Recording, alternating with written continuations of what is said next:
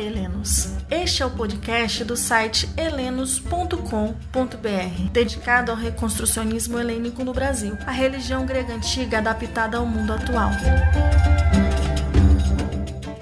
Hoje começamos a nossa série sobre os deuses gregos, um por vez. Na mitologia, a primeira deidade olimpiana a ser engolida e a última a ser expelida pelo titã Cronos foi Hestia. Assim, na religião, todas as primeiras e últimas ofertas são dela. Por causa disso, como tudo se inicia com ela, nesse primeiro episódio vamos falar de Hestia, na mitologia, na psicologia e na religião. Quem vai estar com vocês é a Alexandra, a fundadora do site criado em 2003, que foi o primeiro a tratar do reconstrucionismo helênico em língua portuguesa, atendendo a necessidade dos brasileiros em ter uma fonte de consulta sobre o politeísmo grego, o que a tornou uma referência desde então. Agora é com você, Alex. Herete Helenos. A Estia, sempre o primeiro e o último. Estia era a deusa da lareira, o fogo central tanto da casa quanto da cidade. Por sua relação com o fogo doméstico, também se relaciona a preparação de refeições. Por sua relação com o fogo da cidade, recebia uma parte de todo o sacrifício feito aos deuses.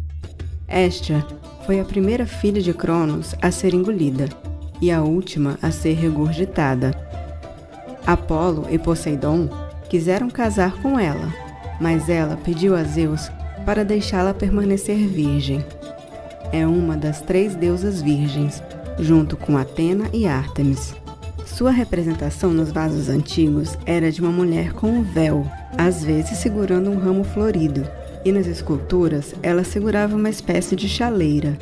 Era uma dos doze olimpianos. A história de ela ter cedido seu lugar para Dionísio aparentemente é uma invenção de um autor moderno, uma vez que isso aparece nos livros dele, e não aparece nenhuma das fontes que ele cita.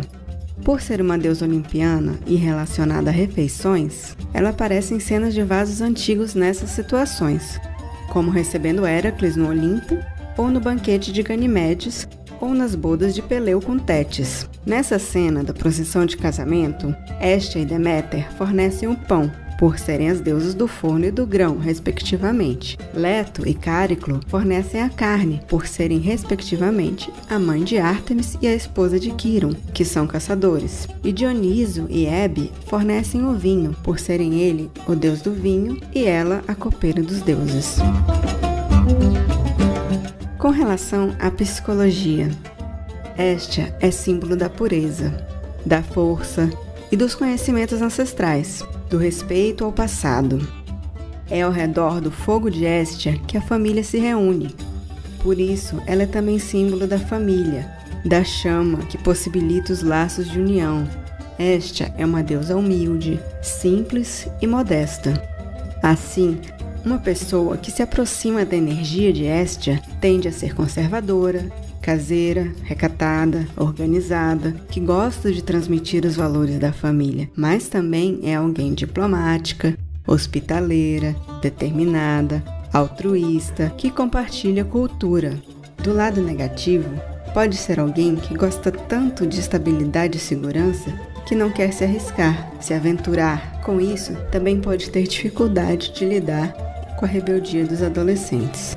Então, numa terapia, seria interessante tentar quebrar um pouco desse apego ao lar e dar mais segurança para a pessoa se sentir livre e se permitir romper com algumas tradições se essas estiverem impedindo-a de realizar as coisas que anseia para si ou estiver tornando-a uma pessoa mais rígida do que realmente acolhedora e altruísta, ou seja, quando ela está se ligando a apenas alguns aspectos de Estia e não aos outros que os complementam. Ok, e na religião?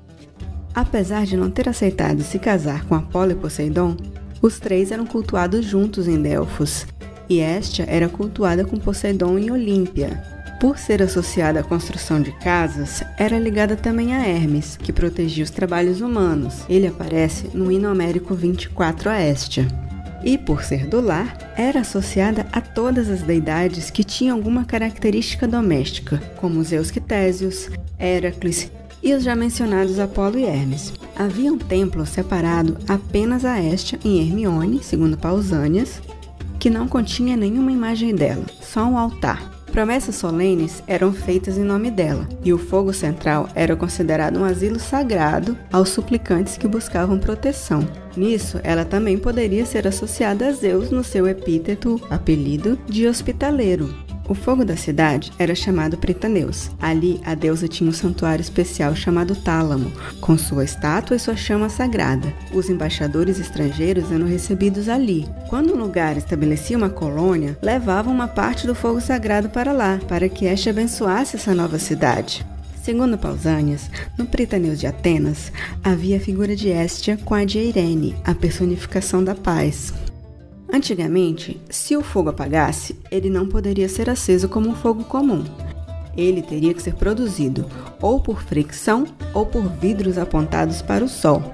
Hoje, a gente faz prece sobre a chama para consagrá-la. As ofertas a ela são os primeiros frutos, água, óleo, vinho, ervas aromáticas e uma planta chamada agnocasto. Por ter sido a primeira a ser devorada e a última a ser regurgitada por Cronos, se oferece a Estia a primeira e a última porção de tudo que se come ou bebe. Pode-se fazer isso literalmente, separando a comida ou vertendo a bebida, enquanto se diz Estia, a ti sempre o primeiro e o último.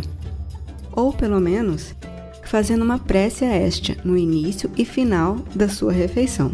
Essa oferta, que é líquida das bebidas, a gente chama de libação, a libação aos deuses olimpianos é feita vertendo apenas algumas gotas do líquido, que hoje pode ser não só no fogo ou no chão, mas também na pia, no pires, no guardanapo, qualquer recipiente separado para isso. Já na libação aos deuses quitônicos, que são os deuses do submundo, se vertia o líquido inteiro no chão ou em um buraco na terra, sem você ter nenhum contato com aquele líquido. A libação normal é chamada de esponder e a libação quitônica é chamada de coes.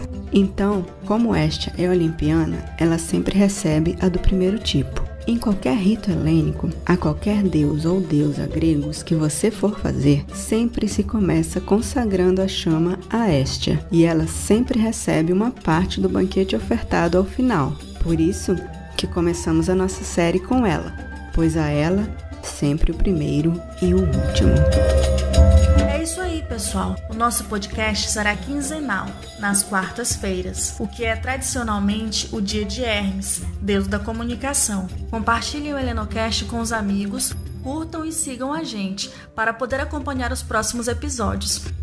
Vocês podem nos encontrar nas redes sociais do site, no Facebook, Instagram e Twitter, HelenosBR.